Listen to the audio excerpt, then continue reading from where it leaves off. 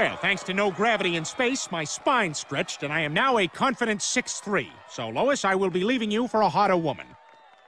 Never mind, Lois. I love you so much.